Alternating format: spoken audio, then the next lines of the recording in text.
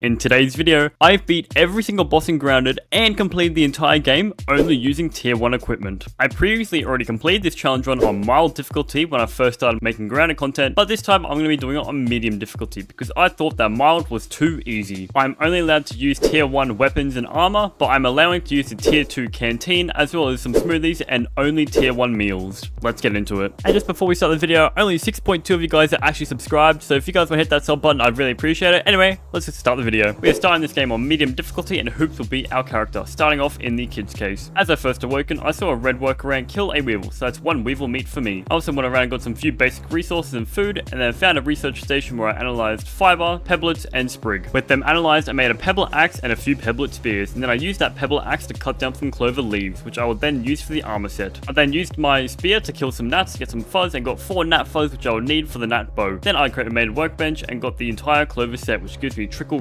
as well as a pebblet hammer. I then went ahead and killed some lawn mice with my pebblet axe and got the gold card and I only had 3 kills. Talk about luck. I went ahead and finished killing the lawn mice that were chewing on the wires and then decided to farm up some lawn mice to get my chopper mutation as I would use the pebblet axe for my main weapon. I grabbed some thistle needles for the spiky sprig and some arrows for later on and got tier 1 of chopper while killing a bombardier beetle. What chopper does is it reduces the enemy's defense when I use an axe. Back at the crafting table, I went ahead and made myself the spiky sprig, the sprig bow, and a bunch of arrows.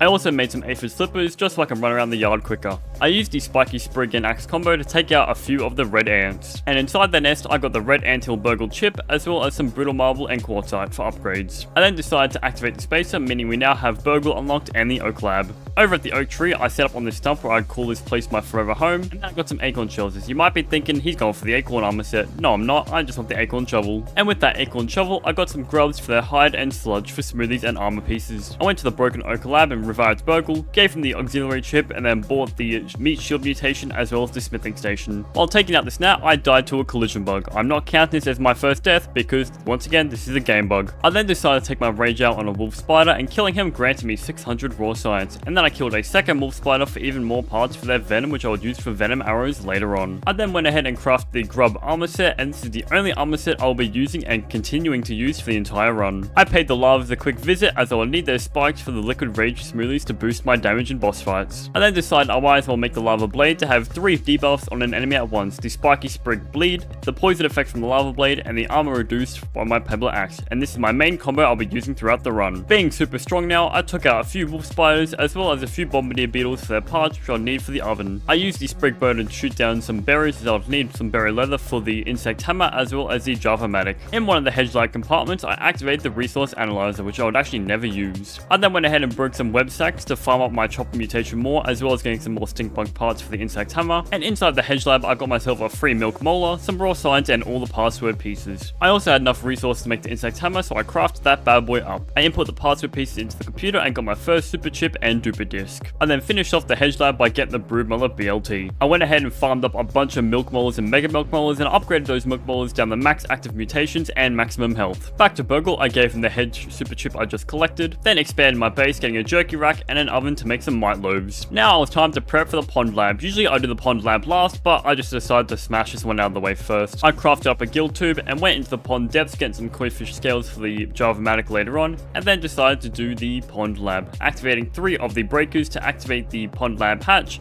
and inside I've got a bunch of muscle sprouts for smoothies for later on, as well as the second super chip and duper disc and getting the pond cutscene. After completing the lab, I upgraded some of my gear just a little bit, then broke some ice cap mints for mint chance to get fresh defense 3 out of 3. And after killing some more bugs with my axe, I maxed out my chopper mutation only an hour and a half into the run. I then could make a gas mask because that's technically a tier 0, and then I couldn't be stuffed to make some gastro goo, so I just went to the haze and just tanked all the haze damage, getting two wheels on the haze lab door to blast open, gaining access to the haze lab. Inside the infected ladybug thought I was stuck in there with her, but no, she was stuck in there with me, and I took her out very quickly. And my reward was the third super chip, the last duper disc, and a bunch of goodies. And then I used those goodies that I got from the haze lab to open up the black ant lab, using the bomb to crack open this rock. In the black ant lab, I got access to zone A and B, as well as getting tier 1 of barbarian. It was time to fight the assistant manager, and I can block these attacks because I'm just so good at the game. When I was fighting the assistant manager, I thought that this challenge run was going to be way too easy once again, but oh boy was I wrong. You guys wait till you fight the bosses. As a reward, I I got his keycard as well as the final super chip, and then I backtracked to the sandbox to kill some antlions to get my way into the salt mines, and then farmed up a bunch of salt as I will need salt for the mantis and the wasp queen boss fight as they are both weak to it. I used the assistant manager keycard to go into the sandbox lab outpost and collected the burgle chip inside, and then I took out some antlions for their parts as I was using their parts for repair glue. I went ahead and farmed up some charcoal chunks for the ovens as I'll need the ovens to make the boss spawnable items. I went back to Burgle and gave him back all the super chips and auxiliary chips I collected, and used the super duper to duplicate my pebble axe about 7 times so I can have one of each element, and some spares just in case some of them break. Inside Burgle shop, I bought a bunch of goodies including the glue masher and the oven, as well as getting some extra resources and the zipper from this one compartment. Back in the pond, I used the assistant manager keycard to gain access to the Stump Lab outpost, and at home I crafted one oven and then crafted up the Broodmother BLT and made some spicy globs. I also upgraded my grub armor down the sleek path, so I pretty much never run out of stamina anymore.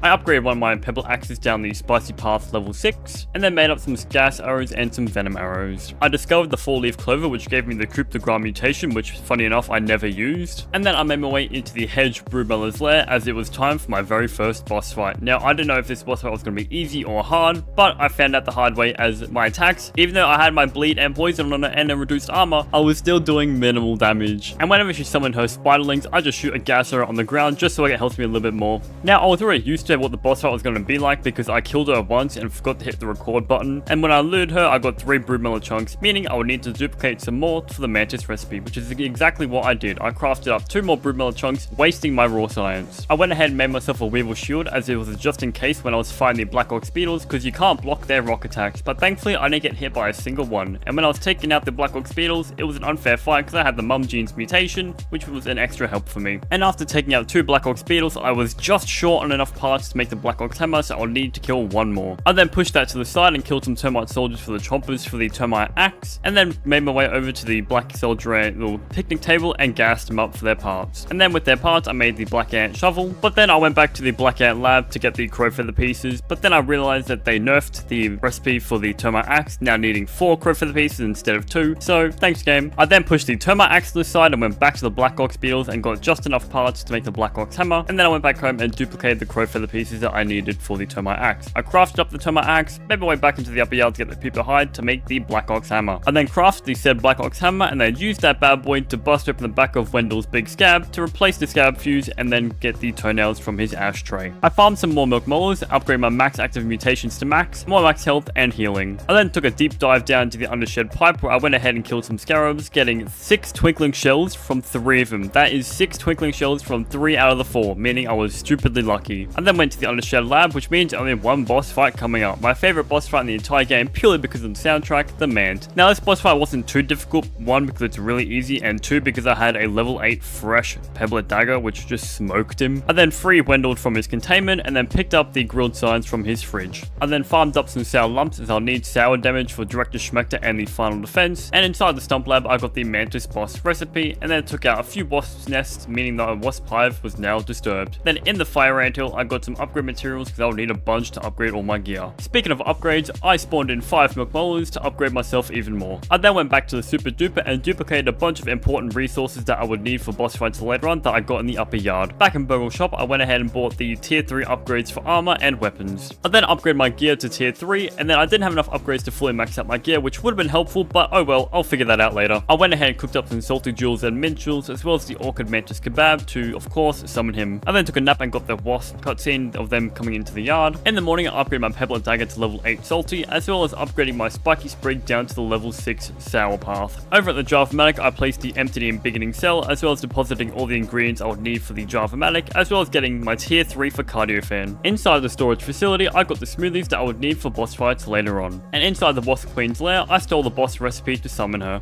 Inside the Moldorc Castle I looted some more tier 3 upgrades as well as get the infected Broodmother boss recipe. And while I was down here I decided I might as well take on Director And my plan for this was the first phase was just use Barbarian and I can block these attacks without having a shield because I'm just so good at the game just like look at this. Mwah. But I was using Barbarian to get as much damage as I can on him before the Orb Weaver Juniors came out which then I would switch and take off Barbarian and just focus the Orb Weaver Juniors. And that's how the entire boss fight pretty much went. I was just taking hits when it was safe and when it wasn't safe I would just hide and take out the Orc Weavers. And after killing him we got the Corporate Kickback mutation which I would use for every single boss fight and that's really helpful. After killing Director Schmector I then took out the Mantis because now I had the Corporate kickback mutation, which means I have a 5% chance every time I perfect block to get lifesteal for 30 seconds, which pretty much cancels out the entire bleed effect, which means I can melee the Mantis as much as I want. But also sometimes I just shot him with a bow, but not too much. I was just doing it just to get the bleed effect or the perfect block defect off me. Also a bee came in the fight. I don't know when that guy came in here, but he helped me out a little bit. And that's pretty much how the boss fight went. He tried to run away, but my debuffs on him just killed him, and the Mantis went down, meaning there was only two more boss fights left to go. And you better believe it, no rest for the wicked.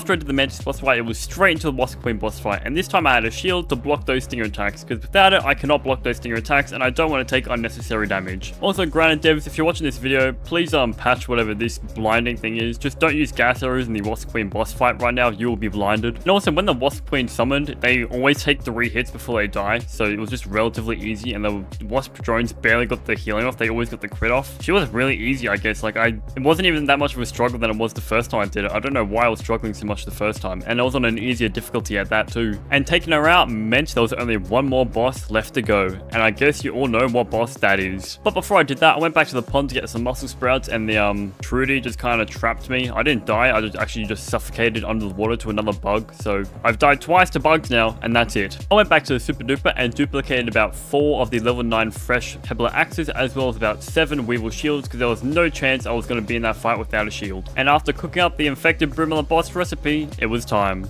But before that, I had to plug the haze, because I didn't do that before, and because plugging the haze makes me grant access to the Broodmother's lair. Sitting in this lair with tier 1 equipment brings me back to the first time I did this on mild difficulty. And even though this is on medium mode and she has more HP and she deals more damage, she doesn't know that I've grown stronger as well. But before we get to killing her, I'm just going to show off the amount of times I died. Once was my fault for not blocking, the second time I was about to kill her on phase 3, and then I got a double whammy combo from two bombs. That was stupidly insane. My third death was to the infected Broodmother smashed me into the side of the wall, having another collision bug. The fourth time she pretty much just cheated and just threw a bomb at me. That's not fair. The fifth time I try and perfect block her super hard combo, but of course I failed because I have no defense. And the sixth time I tried to do the exact same thing and once again folded. But now I took a break, I came back the next day and I smoked her. It was time to put my game face on with a new strategy. Phase 1 and Phase 2 were the exact same, I can confidently get to Phase 3 each time, but for Phase 3, I was now using my Weevil Shield. Instead of trying to perfect block every single attack, if I knew that I can't perfect block it, I'm going to hold my shield up and just block it. This way, 1, I don't get the healing reduced debuff if I have a shield and block it. 2, I don't need to waste smoothies because I'm just going to tank it with my stamina. And 3, I just have more smoothies when my shields break later on. And I've been fighting this infected Broodmother for 4 hours straight for 4 hours straight. It takes me about 30 minutes to get to phase 3 each time. So every time I failed, I have to do like a whole 30 minutes again. And I have to micromanage hitting her with bleed, hitting her with poison, and also hitting her with the Pebblet Dagger, and then blocking the attacks as well. There is so much micromanagement and multitasking in this fight, it is stupidly insane. But when I was fighting her this time, I felt something different. I felt confident. I felt good. I had a bunch of smoothies, and she was less than 3 bars of health left, and when she was on her final health bar, she tried to pull a little sneaky on me, and she tried to mess up her attacks, which actually messed me up, and I almost died. And then she tried to heal, and I was like, no way, Jose, you're dying now. Meaning I'm probably the first person ever to fight the infected Broodmother using only tier 1 gear. After multiple fail attempts, after multiple times fighting this infected Broodmother, after multiple times stressing out this entire boss fight, after me shaking and sweating on my keyboard, micromanaging everything, she is dead. The hardest boss fight in Grounded has been killed with tier 1 gear. And with the infected Broodmother dead, I felt good. It was time to do tradition, to do the mixer, to get tier 1 of Guard Dog, which I would never use, but of course, baby, it's tradition. We gotta do it. And then went up to the upper yard to do the final defense, and I had second thoughts this time, because if the infected Broodmother was hard, I think the final defense would be hard as well. So my plan was to have all the heavy hitting bugs like the ladybirds and the black ox beetles down the bottom away from the mixers, so I can like take them out without even worrying about it. Then I would switch my barbarian and ant Annihilator and kill the Fire Ants and Soldier Ants because they won't really do much damage to me anyway. And near the defense where the one Ladybird comes out and two Black Ox Beetles come out, I was like, I'm just going to distract these guys. I was wiggling my tail at them the entire time and I distracted them, which gave me enough time to take out the Worker Ants that were destroying the exposed mixer modules, but they didn't even get it down to half HP. And just like that, we completed the final defense. Picking up the field and beginning cell, I then went and rammed all the way back home to the spacer, plugged in the field and beginning cell once more, got really pissed at Wendell and threw my spiky sprig at him, and then went home. Meaning I completed the tier 1 only challenge and probably also meaning I'm the first person ever to complete grounded fully using only tier 1 equipment, unless like someone's friend named Eric did it before me. And just like that, that's the end of the video. I died, I think it was six times just to the infected Broodmother. I only, I only died to the infected Broodmother, no one else. And if you made it this far to the video, I would just like to thank you for watching it through all the entire way. I hope you enjoyed it, and if you made it this far, you might as well like and subscribe, and I'll catch you guys in the next video.